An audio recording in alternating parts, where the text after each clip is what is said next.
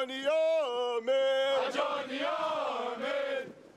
The reason why I joined the Army, I made it easy for my recruiter. I said, hey, I just want to shoot a machine gun and jump out of a plane. He said, sign right here. I was raised on American Pie. I'm a, a cradle conservative. I was voted most likely to succeed, most conservative. My nickname among a lot of my friends was uh, G.I. Josh. I wanted to defend my country. Uh, I tried to enlist in the Marines right out of high school, got hurt playing football, uh, so joined the National Guard and then ended up going to West Point and being a commissioned officer.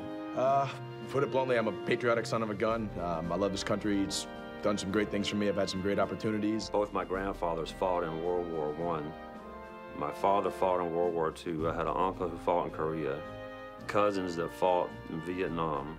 You know, so there's been a family member in the military since there's been a country.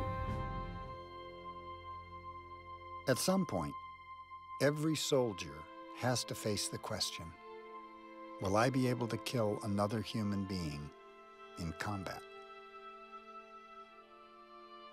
This film is about killing in war and about some U.S. soldiers who have chosen not to. The evidence is that far more soldiers refuse to kill than we might expect. In World War II, research by the official U.S. Army historian, Brigadier General S.L.A. Marshall, revealed that among U.S. soldiers in combat, less than 25% actually fired their weapons at the enemy. Even with their own lives at risk, 75% did not try to kill the enemy.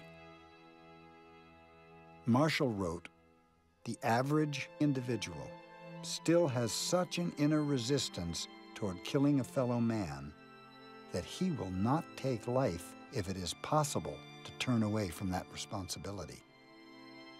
At the vital point, he becomes a conscientious objector.